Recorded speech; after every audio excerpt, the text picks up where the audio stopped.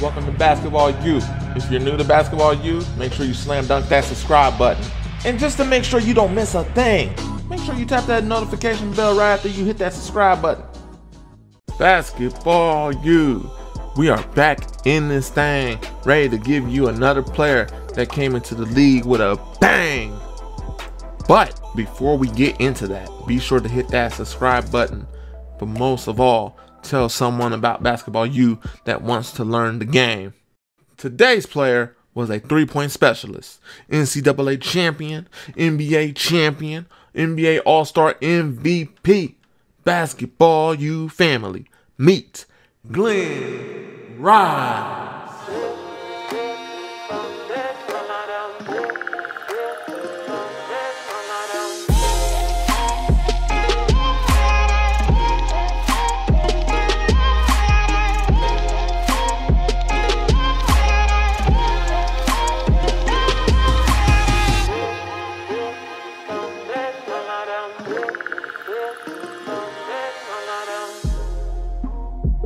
Rice played college basketball for the University of Michigan Wolverines for four seasons, a starter for three of those seasons. He became the school's all time leading scorer with 2,442 points. He led Michigan to the 1989 NCAA Men's Division I Basketball Championship, scoring an NCAA record of 184 points in tournament play, a record that still stands. Rice was also voted the tournament's most outstanding player and was part of the Associated Press All America second team after averaging 25.6 points for the season while shooting 58% from the floor and 52% from three point range. After Rice's junior year, he was invited to try out for the 1988 United States Olympic basketball team, but was cut before reaching the group of 48. On February 20th, 2005, Rice's number 41 jersey was retired during the ceremony at Michigan's Crisler Arena, now known as Crisler Center. Rice made the cover of Sports Illustrated on April 10, 1989.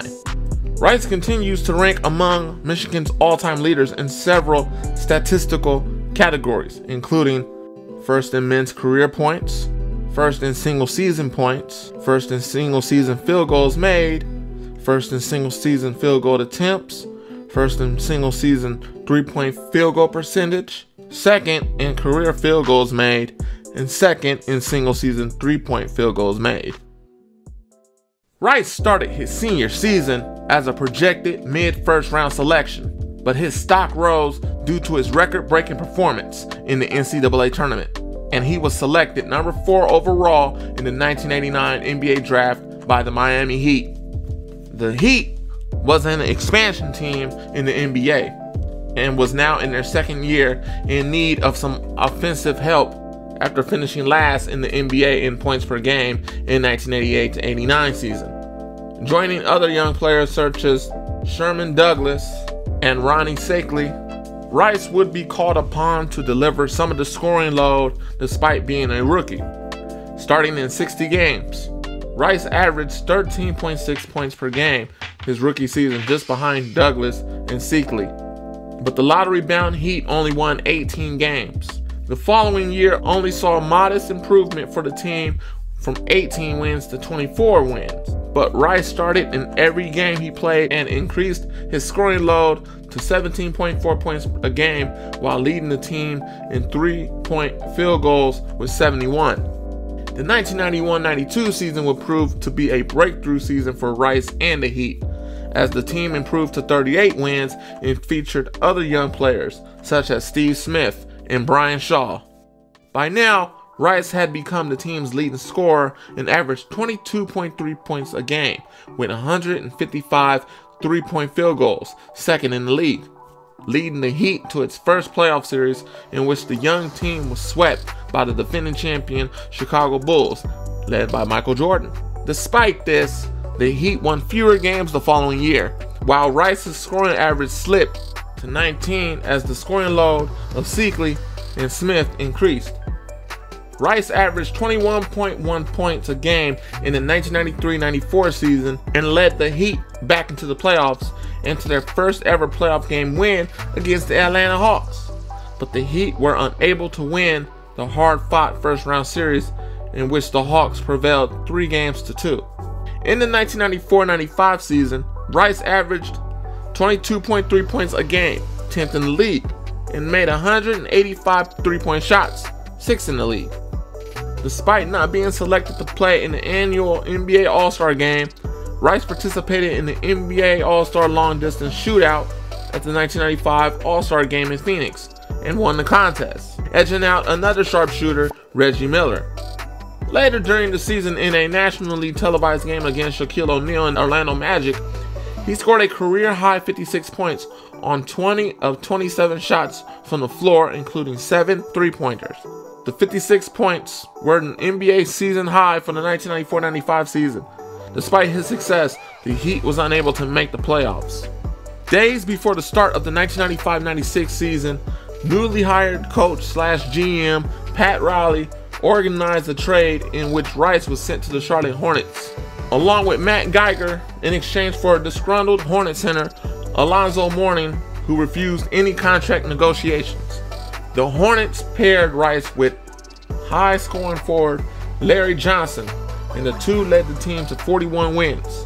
Rice led the team in scoring with 21.6 points a game and led his team in three point field goals with 171 and three point shooting percentage 42. He was also named to play in the 1996 NBA All Star game, but the Hornets failed to make the playoffs. It would be the 1996 97 season in which Rice would earn the distinction of an elite player in the league.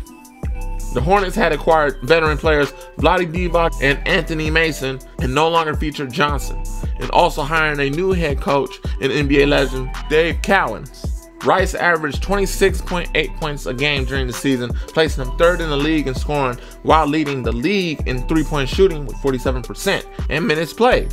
His play earned him his second straight All Star game election, and at the 1997 NBA All Star game set a individual All Star game records of 20 points in the third quarter and 24 points in the second half to finish with 26 points for the game.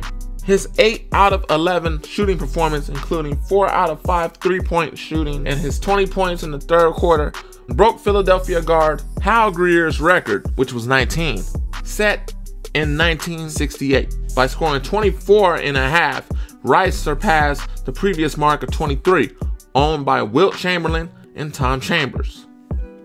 Rice's performance is listed on the NBA's 57 memorable All Star moments.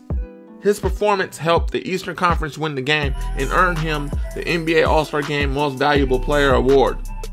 The Hornets won 54 games and made it to the 1997 playoffs, where they were swept 3 0 by the New York Knicks in the first round.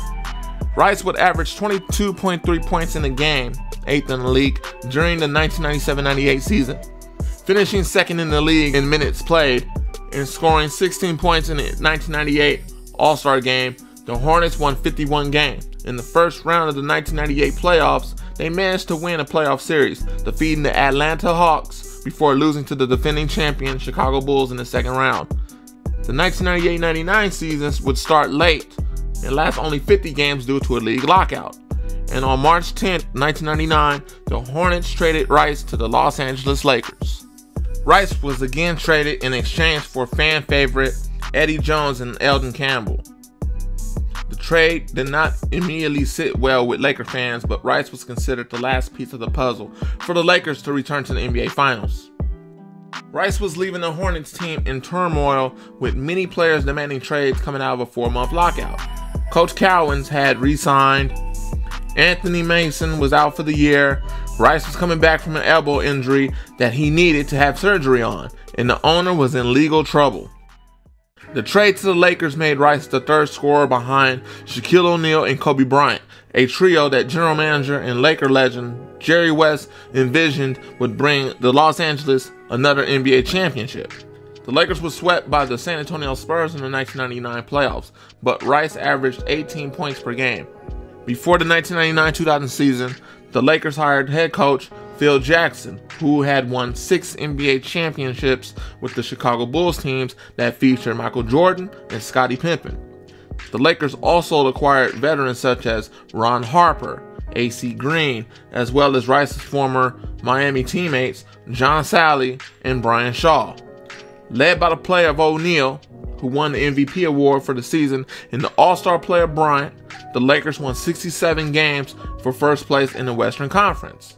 Rice started in 80 games and averaged 15.9 points as the team's third option with 84 three point shots for first on the Lakers. In the 2000 playoffs, Rice averaged 12.4 points per game while shooting 41% from beyond the three point arc, a career best for the playoffs. The Lakers defeated the Sacramento Kings, Phoenix Suns, and Portland Trailblazers in the first three rounds of the playoffs en route to advancing to the 2000 finals to play the Indiana Pacers. In the second game of the finals, Bryant suffered an ankle injury, and Rice scored 21 points to help the Lakers take a 2 0 lead in the series. Rice would average 11.5 points a game for the series, including 16 points with three shots from three point range. In Game 6, as the Lakers defeated the Pacers 4 games to 2 to give Rice his first and only NBA championship. Although the Lakers had won the championship, a lot of drama had unfolded behind the scenes between Rice, head coach Phil Jackson, and general manager Jerry West since the time between getting swept by the Spurs and the eventual championship. There was a report that Rice was upset when the Lakers exercised a 7 million option for 1999-2000 instead of letting him become a free agent. Shaquille O'Neal, Rice's close friend, believed that Rice was the pure shooter he needed to keep teams from double and triple teaming him in the playoffs, and felt partly responsible for bringing Rice to the Lakers and trading Eddie Jones to do it. In the end, Rice was not able to win the hearts of Los Angeles fans after being traded for fan favorite Eddie Jones, with many suspect defense and Rice's inability to perform in the triangle offense. As a result, the disgruntled Rice was eventually traded to the New York Knicks. In New York, Rice would take on a six man role on the team and provide the Knicks with well needed support off the bench. In the 2000 2001 season, he played in 72 games, averaging 12 points per game. Rice made 25 starts, averaging 14.2 points and 5.2 rebounds in those games, and led the Knicks in scoring 9 games. While Rice's defense is often singled out as the reason for his departure, he ranks 145th among all time NBA players in career steals, with 958.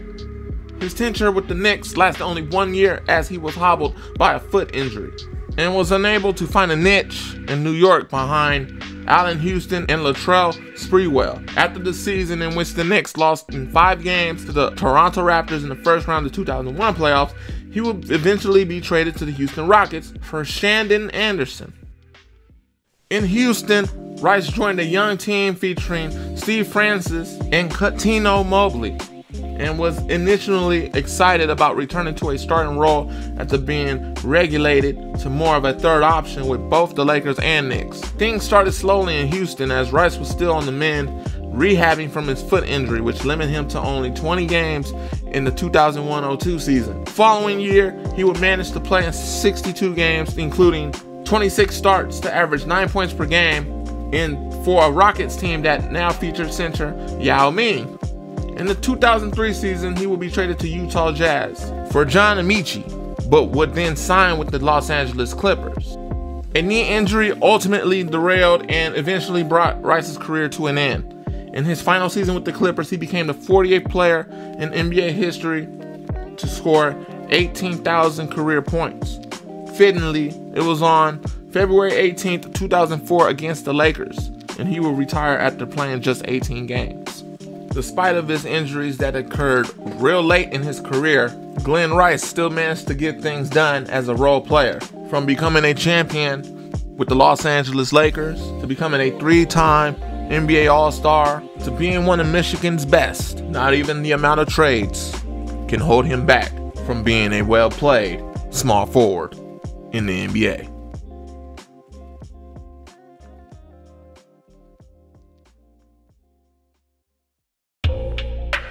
This is Basketball U.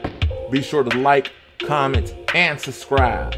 And also follow all of our social medias right there in the description to keep yourself up to date as this channel will have a lot of basketball, a lot of players, and a lot of training and more information on how to play the game of basketball. Remember, someone's always working.